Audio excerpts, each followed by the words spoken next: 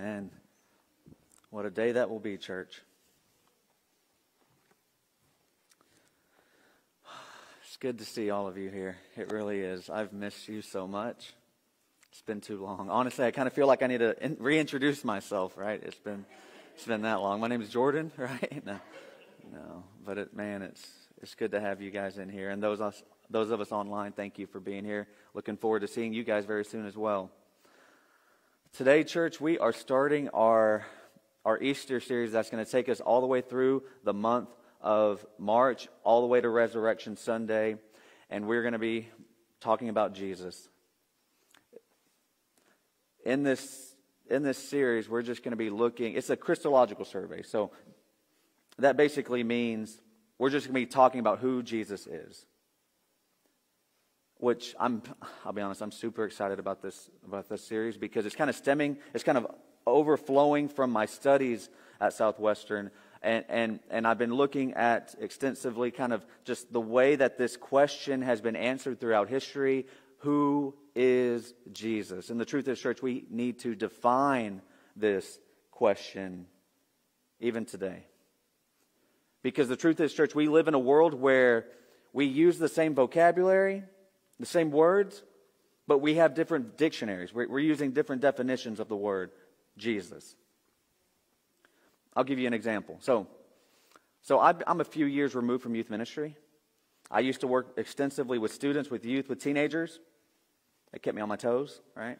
But when I was working with youth, I was, it was like almost like I was like a missionary in a different country because I'm like listening to the language that they use, the words that they use. And, and those of you who are around teenagers, you know.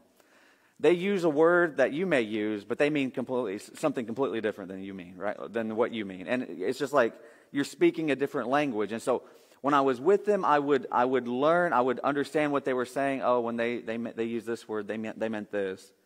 We use it, we use it in this way. But now that I'm a few years removed from that, and I still get to work with teenagers from time to time, with, especially with coaching, some of the things they say, I'm just like, what are you even talking about?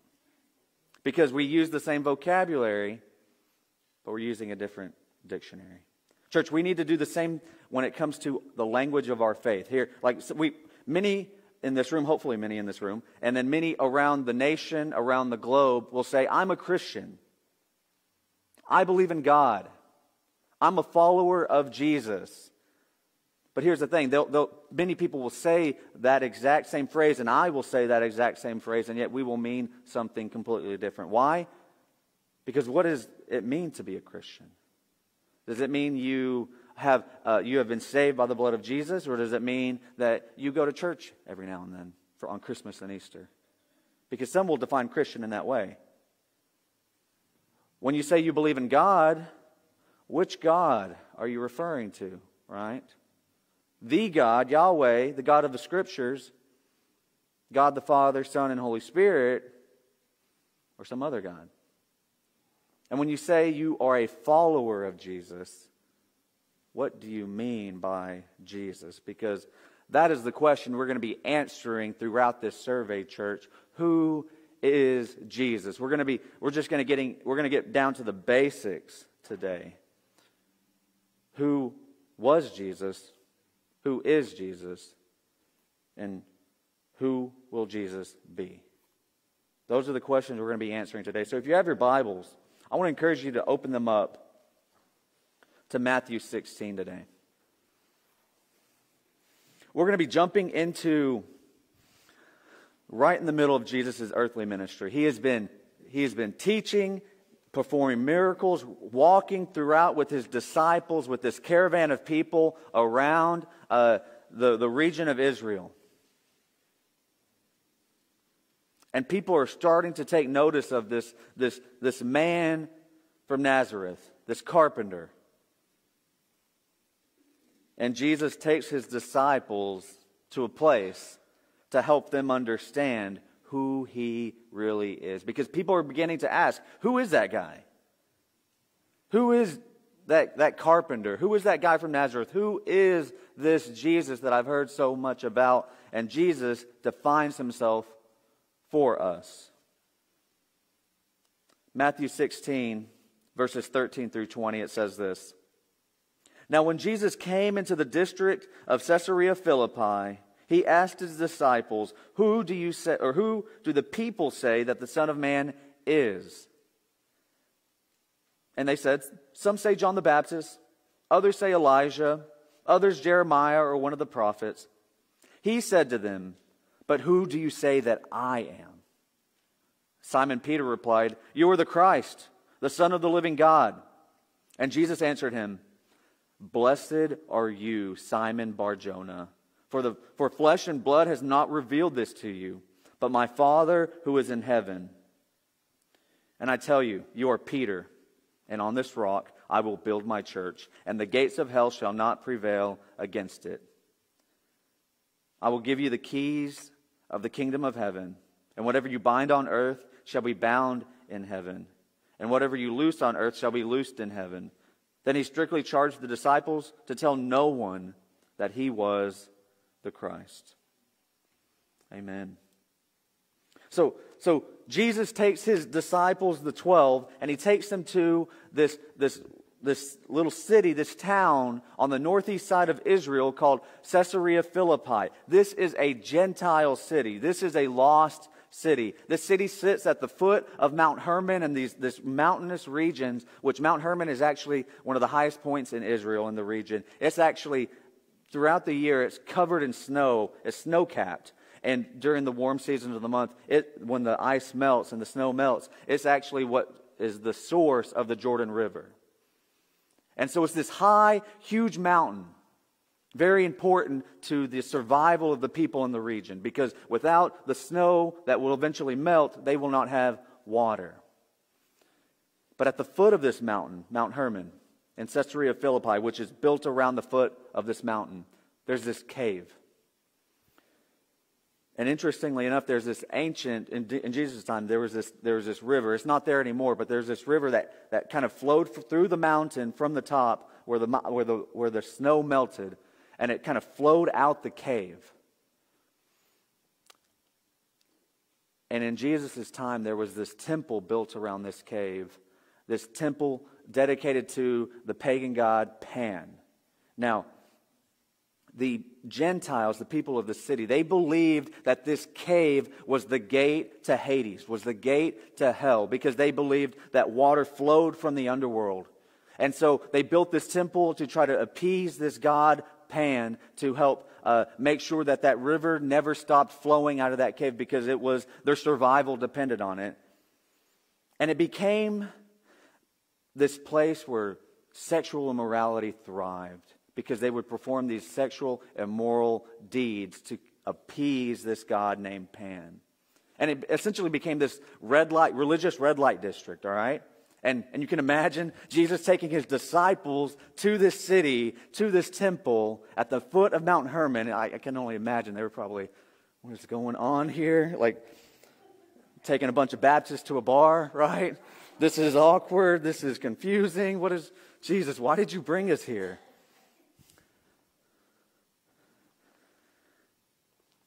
and he asked them this question.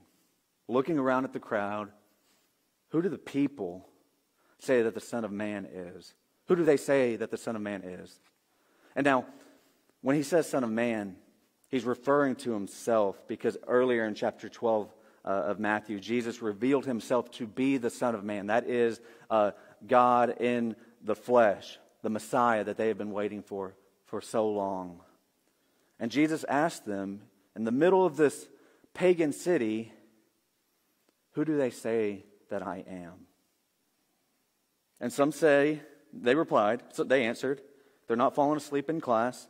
Some say John the Baptist. At this point, John has been beheaded, he's dead. And so some, some are saying, well, John came back. You know, he's such a holy man, he came back, and, and, and you're him reincarnated or something. Others say Elijah. You may recall in the Old Testament, Elijah ascended into heaven. He was taken up into heaven. Some others say Jeremiah or one of the prophets. Notice the diversity of definitions of who the people say that Jesus is. Some say this, some say that, others say that. Plurality. different definitions. Same vocabulary, multiple dictionaries. Think about today. What does the world say about Jesus? Who do they, how do they define our Jesus? A man? A really good teacher? A, a guy with revolutionary ideas? A guy that was a hippie that was all about peace and love? Now, there are aspects of those definitions that are true, but Jesus is not only those things, he is so much more. And so Jesus is asking his disciples, Who do they say that I am? And then he turns to them and he asks them the most important question that they could ever be asked in their lives. But who do you say that I am? Okay, you've given me the definition of what they say. What about you? How do you define me? Who am I to you? And Simon Peter replied, He's always the first one. I appreciate Peter. He's that kid in class that's always the one that's willing to, to take that leap of faith and answer the teacher's question, even though if he gets it wrong or not half the time, right? Simon says, You're the Christ. You're the Son of the living God. And what he's doing here in this profession, this proclamation of who Jesus is, he's acknowledging who Jesus is. You are the Christ. That is, you are the Messiah. Christ is the Greek form of, of the Hebrew word Messiah, the one that they've been waiting for, the, the world has been waiting for, the people of Israel that have been waiting for for centuries. You are the Messiah, and you are the Son of the living God. He is acknowledging Christ or Jesus' uh, humanity and Jesus' divinity through these two statements. You are the Messiah because generally uh, it was assumed that, that the Messiah would be a man, that he would be a messenger from the Lord. He would be a man that would save his people. But he's also the Son of the living God. That is, he is divine. He is both man and divine, and he's acknowledging that Jesus is all these things into one, one, one man, one God.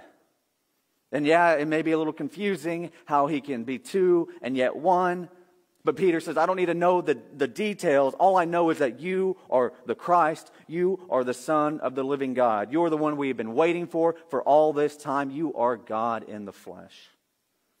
And Jesus responds, Blessed are you, Simon Bar Jonah. Now, Bar Jonah means, Bar means son in Aramaic.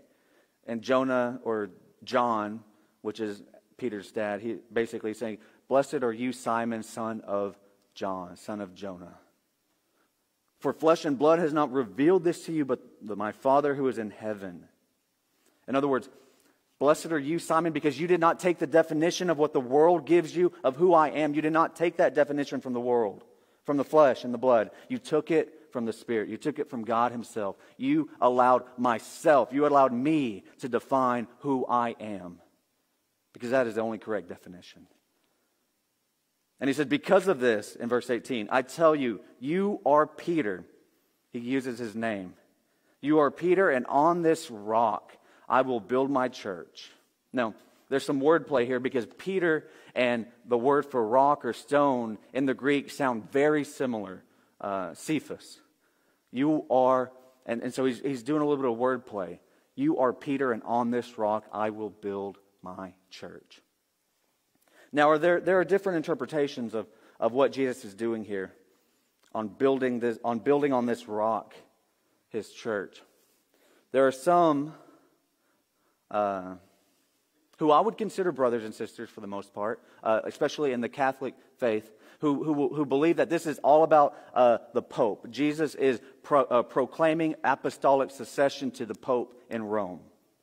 And, and, and, and that seat, whoever's in that seat, uh, of, of being the Pope, it, that, that line can be traced back all the way to Peter. I'm not so sure that they got that right because, because what, he, what Jesus is building the rock on is that confession of faith. On the confession of faith of who Jesus is, that is where the church will be.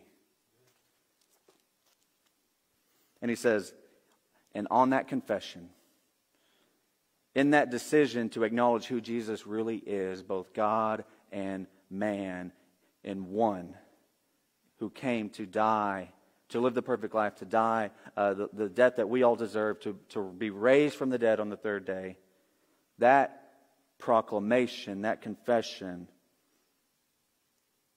there the church will be built. And, and the gates of hell will not prevail against it. Again, think about the context. They're sitting at the foot of a cave where many around them believe leads to Hades. And he says, and Jesus says, whatever's in that cave ain't coming. Ain't going to do nothing to you if you just believe in who I am. And whatever you bind, or I'll, and I, I'm going to give you the keys. I'm going to give you the keys to heaven. Whatever you bind on earth, whatever you loose on earth, those it will happen in heaven. In other words, I'm going to give you uh, the authority. I'm going to bestow upon you my authority. And then he says, interestingly enough, in verse 20, he's, he, the, the light bulb is finally starting to go off in their head a little bit, the disciples. And then Jesus says, okay, okay, okay, I just enlightened you a little bit, but don't tell anybody. Now, I'll be honest, I, some of us today, we may use what Jesus says here at the very end of this section of Jesus telling his disciples not to tell anybody. We say, well, that's why I don't share my faith very much, Jordan. Jesus says, don't, don't tell anybody about who he is. We can't do that, guys. Come on. Because later on in Matthew 28, this is just a temporary instruction because Jesus has a mission. He's trying to get to the cross. And, and if everybody understands who he really is, they will not crucify him. Because later in Matthew 28, Jesus says, he turns them loose, right? Matthew 28, go and tell, not just the people around you, the nations about me. And that's what we're called to do, church. You know, it's interesting. It's interesting to think that even in Jesus' time, when he was here, when he was present on earth, he had to define who he is. Now, you add 2,000 years to that to, to get to us today, and this defining of terms is still taking place. We still have to define who Jesus is. You've, you've heard that phrase, uh, lost in translation. The definition of who Jesus is has been lost in translation. But here's the thing there's nothing new under the sun, church. Nothing new. This conversation has been taking place since Jesus ascended into heaven. You think about the, the writings, the scriptures. The apostles, they're having to write down and explain who Jesus said he was. Because he had, they had to define the terms, because there, there were rumors, there were stories, there were other definitions that were going around the church saying, well, Jesus was actually this or that. He actually wasn't who you think he is. And they had to define the terms. And then the, the, the apostles, they passed away, John being the last. And then uh, these individuals who are known as the early church fathers, these individual, these uh, leaders of the church who kind of took the mantle from the disciples, from the apostles, and kind of uh, brought the church into uh, what we find today, had to define the terms to the point that there were these theories, these ideas of who Jesus was that began to arise that were just completely false. The, the biggest, uh, most well known individual was this guy named Arius. Um, he is probably one of the first and probably most prominent heretic, that is somebody who, who teaches a false doctrine that we know as a church. And he, believed, he taught this idea that, that Jesus wasn't really God, God. He was like a, he was like a semi God, and, but he, they related him to a creature. Like he was just like us, he was created. And so if, if, if Jesus was created, there was a time when Jesus was not. And, and uh, many of the early church fathers, they, they, they were trying to wrestle with, with this type of heresy and others because there's this paradigm. There's all these definitions, plurality, all right, of definitions, just like we see today. And they, they held this council called the Council of Nicaea in 325 AD. Just, you know, 300 years after Jesus is gone, they're still having this conversation. And they kind of come to an agreement. And they basically say Jesus is like God in nature and in substance. That's the language that they use. And they break, they, they, they end the meeting. But people aren't happy with that definition, with that language. And so they, they'll use that language some of these Arians, these people who follow Arius and other false teachers, they begin to use the same language, but they twist it. They're using, yeah, yeah, Jesus is like God in nature and in substance. But what they mean isn't the same by what those who, who truly believe that Jesus was the Son of God, God in the flesh. They, they were using the same vocabulary, church, but yet they were using different dictionaries. And so they had another council. A little over 50 years later, 381, the Council of Constantinople. Now, just so we're all aware, a, a church council, these, these, are basically like church business meetings like we have today, right? Like, except they're not talking about what color the carpet's going to be, you know? So, but, but, so they are trying to define the term of who Jesus is because they bring it together and they say, all right, all right, we got to get this right. Who is Jesus? What does the word say about Jesus? What did Jesus say about himself, about Jesus? And they eventually said, you know what? There's going to be people who are going to use a different dictionary than we are. We can't, we can't control that. All we can do is make sure we understand and define Jesus according to what the Word says and what He said about Himself. And so they have this, uh, this creed it, that they took from Nicaea and they kind of made it their own. And like they reaffirmed, basically. It's like it's a mesh of, of the Council of Nicaea and the Council of Constantinople. And it says this I'm just going to read you a portion of it.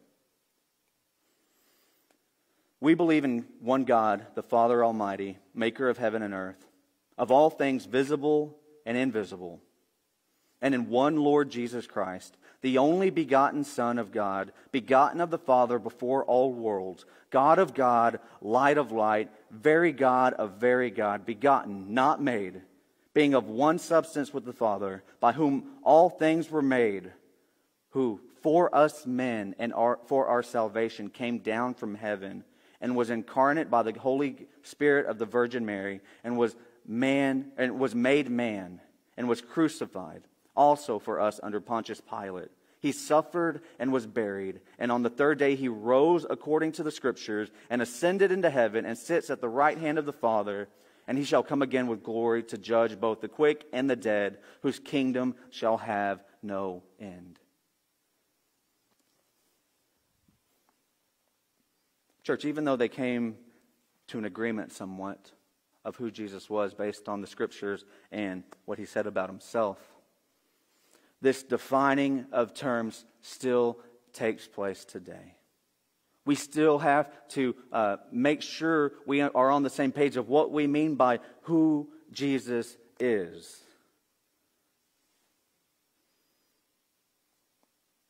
Because the truth is, church, the world uses different definitions. When I say I'm a follower of Jesus, I mean that I'm a follower of the Messiah, of God who took on flesh, who humbled himself before creation by entering into creation, by living the most perfect life, the life that we could never live, by dying the death that we all deserve, by being buried in the grave, and on the third day being risen from the dead. And then he ascended into heaven. And in this moment in time, he's sitting at the right hand of the Father, waiting for his return to usher us into his presence. Church, that is what I mean by Jesus. But the world will say something different. The world will say he, is just, uh, he was just a good teacher. He was just a man. Uh, he, he, he's a creature just like us. He, he, he, was, a, he was just a, you know, a revolutionary. Uh, you know, there's all these definitions. But, church, here's the thing that's not what Scripture says about him. And so I'm asking you the question that, that Jesus asked his disciples, and the question that I believe Jesus is asking every single one of us today Who do you say that Jesus is? Who do you say that he is? Because here's the thing, church. This is the most important question that you could ever answer in your life. Because the way you answer this question, I will argue, I will be able to determine what type of faith you have. And in turn, what type of life you live. And that's all based on how you answer this question Who do you say that Jesus is? Because here's the thing if you believe in a Jesus that is other than the God in the flesh who took on flesh who, because, he, because he loved us so much and he wanted to bridge that gap between heaven and earth, if you answer uh, a Jesus other than the Jesus who, who died and rose from the grave on the third day, if you teach or and believe or follow a Jesus that is other than the Jesus that is currently sitting at the right hand of the Father, waiting for his return, if you believe in an other type of Jesus, the truth is, church, I'm, I'm willing to bet you don't really follow that Jesus. Because that type of Jesus is not worth following. Because he's just a man. He's just a good teacher. You can find a good teacher anywhere. Maybe not here, but no, I'm just kidding. But hey, the gospel is at stake. You, some of you may be thinking, Jordan, why are you giving me a history lesson? Why are they arguing? Why are, they, why, why are we talking about this? Church, the gospel is at stake based on how you answer this question. Because the other type of Jesus, however you may define him, that's not biblical or not according to the way he defined himself, any other type of Jesus does not save, church. Because that sacrifice for our sins that separate us from, from, from, from, from God the Father, can only be atoned for by a perfect sacrifice. And there's no one perfect besides God. So he has to be God. But he also has to be man.